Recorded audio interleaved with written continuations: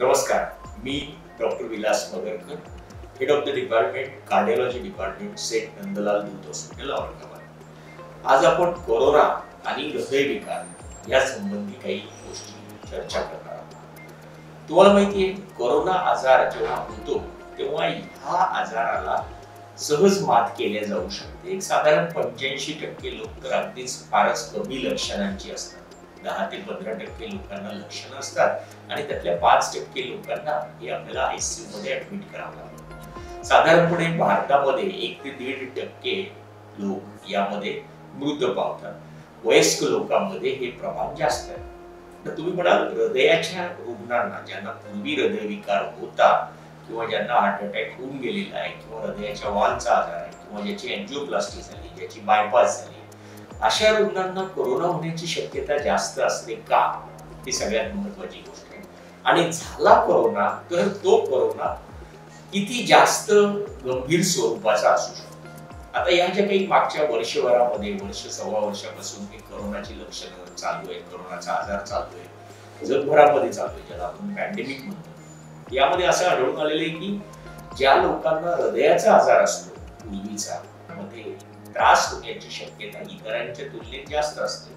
तुम्ही बघाल कोरोनाच्या रुग्णांची जी होम आयसोलेशनची जी गाईडलाईन्स नियमावली शासनाने बनवलेली आहे त्यामध्ये कुठेही हृदयाचे आजार असलेले वयस्क लोक किंवा ज्यांना फुफ्फुसाचा आजार आहे ज्यांना किडनी ट्रान्सप्लांट झाले किंवा ज्यांना डायलिसिस लागते ज्यांना कॅन्सरचा आजार आहे यांना होम आयसोलेशनचा सल्ला दिला जात नाही. का दिला जात नाही?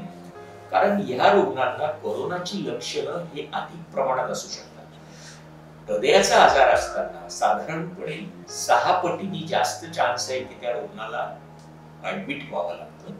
होम बेसिसवर हा मॅनेज करणं अवघड जातं दुसरी शक्यता अशी आहे की साधारण हृदयाचा आजार असलेल्या रुग्णांमध्ये मृत्यू होण्याचं प्रमाण किंवा गंभीर आजार होण्याचं प्रमाण त्यांना आयसीयू लागण्याचं प्रमाण हे खूप जास्त असतं.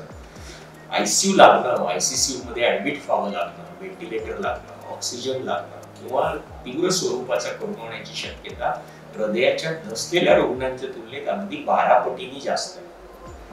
त्यामुळे आपल्याला हृदयाच्या रुग्णांनी कोरोनाच्या काळात सर्व काळजी व्यवस्थित घेणं हे फार फार गरजेचं आहे. आता ही जी काळजी ही कशा प्रकारची जी सर्वसामान्य जनतेसाठी असलेली जी काळजी आहे ती काळजी कोरोनाच्या रुग्णांनी तर घ्यायचीच आहे प्रकर्षाने घ्यायची. म्हणजे गर्दीच्या ठिकाणी न जाणं सोशल डिस्टन्सिंग ठेवणं मास्क वापरणं वारंवार हात धुणं हात आपल्या तोंडाला न लागणं मास्कला सारखं वर खाली न करणं जनरल पब्लिकमध्ये न मिसळणं सामाजिक कार्यक्रमामध्ये सहभागी न होणं हे तर आलंच. हे तर प्रत्येकाने करणे त्या हृदयाच्या रुग्णांनी अधिक करणे कारण त्यांना जर कोरोना झाला तर त्यांना इतरांच्या तुलनेत त्रास होण्याची शक्यता खूप जास्त आहे. हे झालं पहिलं जी जनरल नियमावली आहे ती त्यांच्यासाठी लागू आहे. दुसरं महत्वाचं हृदयाच्या रुग्णांनी स्वतःच्या हृदयाच्या गोळ्या व्यवस्थित वेळेच्या वेळेस घेणं हे गरजेचं आहे. तुम्हाला माहिती आजकाल आवश्यक नाहीये की ब्लड प्रेशर चेक करण्यासाठी डॉक्टरांकडे जावं लागेल किंवा शुगर चेक करण्यासाठी डॉक्टरांकडे जावं लागेल असं आवश्यक नाही. गरज नसेल तर विनाकारण डॉक्टरांकडे जाऊ नका पण तुमच्या डॉक्टरांच्या टच मध्ये telephone WhatsApp email messages S M S या पद्धतीने टच मध्ये राहा. आणि सध्या बरेचसे ॲप सुद्धा डॉक्टरांनी डेव्हलप केले जिथे की तुम्ही त्यांचे रिपोर्ट डाउनलोड करून त्यांना पाठवू शकता आणि त्यांच्याशी डिस्कशन करू शकता. हे आपल्या गोळ्या बंद न करणं नंबर एक. घरगुती ब्लड प्रेशर चेक करणं ज्याला आपण होम बीपी मॉनिटरिंग म्हणतो ते करणं. शुगर चेक करणं ज्या ग्लुकोमीटरवर फास्टिंग बसवेल त्यानुसार गोळ्यांचा डोस ऍडजस्ट करणं. हे महत्वाचं आहे हृदयाच्या रुग्णांसाठी मागच्या पॅन्डेमिकमध्ये पहिल्या वेव्हमध्ये जेव्हा आम्ही वारंवार हा सल्ला वेगवेगळ्या मीडियावरून वर्तमानपत्रात मेसेजद्वारे आमचं व्हॉट्सअप स्टेटस ठेवून आमच्या रुग्णांना मेसेज देऊन जरी आम्ही एक खूप कळकळीने सांगितलं लोकांना की तुम्ही तुमच्या गोळ्या बंद करू नका. बऱ्याच जणांनी तरी सुद्धा काही जणांनी बंद केल्या. साहेब तुम्ही तीन महिन्याच्या दिल्या होत्या. तीन महिने झाल्यानंतर लॉकडाऊन होतं. आम्ही काही येऊ शकलो नाही. मग दोन तीन महिने गोळ्या बंद झाल्या. यामध्ये त्यांना त्रास होतो. त्यामुळे गोळ्या चालू ठेवणं गरज पडली. त्या गोळ्या बदलणं तुमच्या डॉक्टरांच्या टच मध्ये राहणं हे गरजेचं या कोविडच्या काळामध्ये ह्या सर्व काळजी घ्यायचीच आहे आपल्याला. याशिवाय काळजी ही घ्यायची आहे की आपल्याला हा आजार किंवा ह्या आजाराची लक्षणं झाली तर लपून राहायचं नाही. तातडीने ताबडतोब रिपोर्ट करायचं. त्या विषयाच्या डॉक्टरांना दाखवायचं. गरज पडली rapid antigen R T P C R डॉक्टरांच्या सल्ल्यानुसार छातीचं सिटी स्कॅन ज्याला एच आर सी टी म्हणतो. हे सगळं करावं. असेल तर त्याला ट्रीटमेंट द्यावी. लवकर ट्रीटमेंट केली तर हे बरे होतात. हे सगळीकडे आढळून आले अगदी माझे काही मागच्या पंचवीस वर्षापासून असलेले हृदयाचे रुग्ण जे ब्याण्णव त्र्याण्णव चौऱ्याण्णव वर्षाचे आहेत ते सुद्धा ह्या काळामध्ये आमच्याकडे ऍडमिट होऊन बरोबर ट्रीटमेंट घेऊन व्यवस्थित होऊन घरी गेलेले आहेत. त्यामुळं हा आजार झाला म्हणजे हृदयाच्या रुग्णांना काही घाबरून जायची गरज नाही. आजार होऊ नये यासाठी काळजी करायचीच आहे. आजार झाला तर पहिल्याच स्टेजमध्ये त्याची ट्रीटमेंट करायची. यावर आजार गंभीर असेल तर त्याला व्यवस्थित ट्रीट करायचं आहे आणि आजारात ऍडमिट होऊन आवश्यकतेनुसार गोळ्या औषध देऊन याला ठीक करावं. आता राहतो आहार. असं आढळून आले की कोरोनामुळे कोविड इन्फेक्शनमुळे किंवा कोविड इन्फेक्शनच्या गोळ्यामुळे किंवा कोविड इन्फेक्शनच्या काळात दिल्या गेलेल्या स्टेरॉइडमुळे किंवा कोविड इंजेक्शनचे दिल्या गेलेल्या अँटीव्हायरल ड्रग्समुळे अशा बऱ्याच कारणाने रुग्णांची साखर वाढते. तर कोविडच्या इन्फेक्शनच्या काळामध्ये साखरेचं जेवणामध्ये गोड पदार्थांचं कार्बोहायड्रेट्सचं प्रमाण अगदी कमी ठेवावं प्रोटीन्सची मात्रा वाढवावी. हे महत्वाचं आहे. फॅट चरबीयुक्त पदार्थ कमी करावे. ब्लड प्रेशर सुद्धा अशा रुग्णांचं वाढतं. त्यामुळे जेवणामध्ये सॉल्टचं प्रमाण कमी असावं. लॉकडाऊन आहे.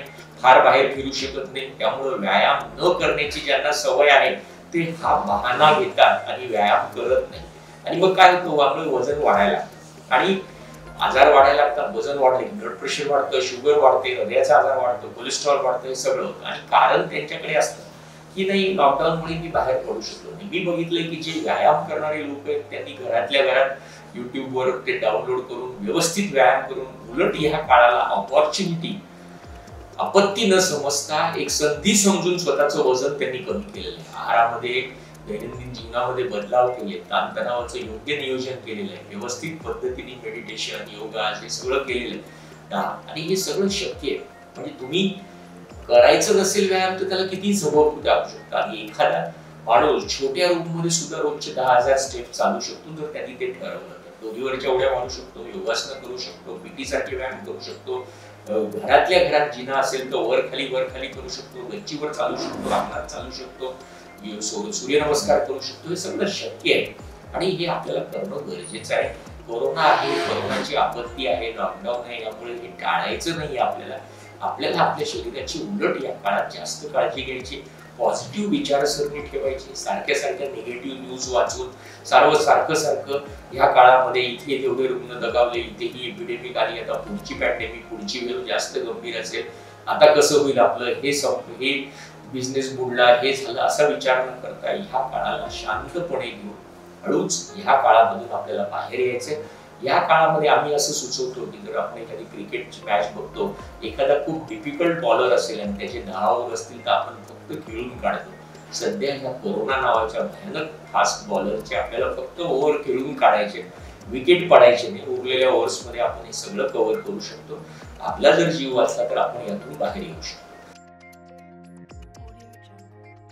डॉक्टरांच्या सल्ल्यानुसार गोळ्या घेणं गरजेचं आहे. तुम्हाला प्रोटीन इंटेक चांगलं ठेवणं आहे. तुमचे डॉक्टर जर सजेस्ट करत असतील तर B complex vitamin D zinc असं सप्लिमेंटेशन तुम्ही घेऊ शकता. शक्यतो हे नॅचरल फूड मधून तुम्हाला मिळालेलं कधीही चांगलं. जर तसं शक्य नसेल तर तुम्ही सप्लिमेंटरी गोळ्या घेऊ शकता. हे झालं यामध्ये वॅक्सिन हे एक महत्त्वाचा मुद्दा आपल्या दृष्टीने.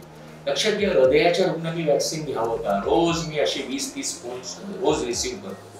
हृदयाच्या रुग्णाला जर कोरोना होण्याची जास्त शक्यता असेल तर हृदयाच्या रुग्णाला कोरोनामुळे तोटा होण्याची शक्यता जास्त असेल तर हृदयाच्या रुग्णाने उलट व्हॅक्सिन घ्यायला पाहिजे. काहीतरी कुठेतरी आलेलं असतं की रक्त पातळ व्हायची गोळी जर चालू असेल तर व्हॅक्सिन घेऊ नये आणि आम्हाला ऍस्प्रिन चालू आहे आम्हाला क्लोपिडोग्रेल चालू आहे आम्हाला टिकाग्रेलॉन चालू आहे आम्हाला प्राझोग्रेल चालू आहे. आम्हाला रिव्हर चालू आहे आम्हाला नॅव्हिगेटर चालू आहे. बघा याची गाईडलाईन्स फार क्लिअर ऍस्प्रिन क्लोपिडोग्रेल टिकाग्रेलॉर प्राझुग्रेल ह्या ज्या रक्त पातळ व्हायच्या गोळ्या अँजिओप्लास्टी बायपास नंतर किंवा हृदयविकार झाल्यानंतर चालू असतात. ह्या घेतलेल्या असताना वॅक्सिनची काही अडचण नाही. अगदी बिनधास्त तुम्ही वॅक्सिन घेऊ शकता. या गोळ्यांचा आणि वॅक्सिनचा काही त्रास नाही. दुसरं राहतं प्रश्न हे जे न्यूरोबोल अँटीकोॲग्युलंट आहे डॅबिगेट्रान म्हणा रिव्हॉरॉक्झॅबॅन म्हणा पिक्सिमॅप या ज्या रक्त पातळ व्हायच्या गोळ्या या गोळ्या चालू असतानाही तुम्ही वॅक्सिन घेऊ शकता. ज्या दिवशी तुमचा सकाळचा डोस आहे आणि सकाळी वॅक्सिन घ्यायचं तेव्हा आधी व्हॅक्सिन घ्यावं आणि सकाळचा डोस दुपारी घ्यावा. रात्रीचा थोडा उशिरा रात्री घ्यावा आणि उद्यापासून पुन्हा नेहमीसारखं करावं. ही महत्वाची गोष्ट तुम्हाला लक्षात घ्यायची तर थोडक्यात रिवारोक्झॅपॅन एपिझिपॅन यामध्ये गोळ्या चालू असताना व्हॅक्सिन घेतल्या जाऊ शकतं घ्यायला पाहिजे. तिसरं महत्वाची गोष्ट वारफॅरिन किंवा ऍसिट्रॉन नावाची रक्त पातळवायची गोळी वॉल रिप्लेसमेंटच्या रुग्णांना किंवा वॉलच्या रुग्णांना जेव्हा चालू असते त्या रुग्णांनी मात्र डॉक्टरना दाखवून पीटी आय एन आर नावाची रक्ताची तपासणी करावी. आय एन आर दोन ते तीन असेल तर तेही व्हॅक्सिन अगदी बिंदास घेऊ शकतात. आय एन आर तीनच्या वर असेल तर त्याला तीनच्या खाली थोडासा डोस कमी करून आणावं आणि मग व्हॅक्सिन घ्यावं असं समजू हृदयाच्या रुग्णांनी जेव्हा रक्ताच्या पातळ करण्याच्या गोळ्या चालू असतात तेव्हा व्हॅक्सिनसाठी वापरण्यात येणारी जी निडल आहे ट्वेंटी थ्री ची छोट्या साईजची घ्यावी. इंजेक्शन दिल्यानंतर चोळायची गरज नाही पण तिथे जर छोटी मोठी सूज आली किंवा दुखलं किंवा रक्त पातळ्याची गोळी चालू असल्यामुळे रक्ताची गाठ झाली ज्याला आम्ही मेटोमा म्हणतो. तर अशा वेळेस तुम्ही त्याला थोडं बर्फाचं आईस पॅक ऍप्लिकेशन लावू शकता हे तुम्ही करू शकता. हे झालं अजून महत्वाचं आता राहतो वॅक्सिन घ्यावं की नाही वॅक्सिन उलट गरजेचं आहे वॅक्सिन घेणं गरजेचं आहे. भारतामध्ये दोन प्रकारचे वॅक्सिन्स आहेत. एक कोवॅक्सिन आणि दुसरं कोविशिल्ड हे दोन्ही वॅक्सिनची इफिशियन्सी खूप छान आहे हे लक्षात आलेलं आहे. कोविशिल्ड जे वॅक्सिन आहे हे ॲस्ट्राझेनिका या कंपनीच्या माध्यमातून ॲस्ट्राझेनिका आणि सिरम इन्स्टिट्यूट याच्या माध्यमातून ऑक्सफोर्ड यांच्या माध्यमातून भारतात आलेलं आहे. आणि कोवॅक्सिन हे जे आहे हे Bharat Biotech National Institute of Virology आणि आय सी एम आरच्या माध्यमातून दोन्ही वॅक्सिनची इफिशियन्सी छान आहे दोन्ही वॅक्सिन प्रोटेक्टिव्ह आहे एवढं नक्की की वॅक्सिन घेतल्यामुळे गंभीर कोरोना होण्याचं प्रमाण हे फार फार कमी होतं. मृत्यू होण्याचं प्रमाण हे ऑलमोस्ट झिरो पर्सेंट आहे. म्हणजे गंभीर कोरोना होऊन गंभीर प्रकारचा आजार होण्याची शक्यता कमी होते. झालाच कोरोना तर तो सौम्य प्रकारचा होतो. तो लवकर बरा होतो. प्लस वॅक्सिन घेतल्यामुळे तुम्ही जर वॅक्सिन घेतलं तर तुम्हाला इन्फेक्शन होण्याची शक्यता कमी आहे. तर तुमच्यामुळे दुसऱ्याला इन्फेक्शन होण्याची शक्यता कमी होते. तर ती जी वॅक इन्फेक्शनची जी चेन ट्रान्समिशनची चेन जी आहे कम्युनिकेबिलिटीची इन्फेक्टिव्हिटीची हे वॅक्सिन घेतल्यामुळे तुम्ही ब्रेक करू शकता. या काळामध्ये आहाराचं संतुलित नियमन करणं गोळ्या व्यवस्थित घेणं मन खंबीर ठेवणं आजार ठीक होऊ नये यासाठी सर्व काळजी घेणं आणि झालं तर ट्रीट करावं.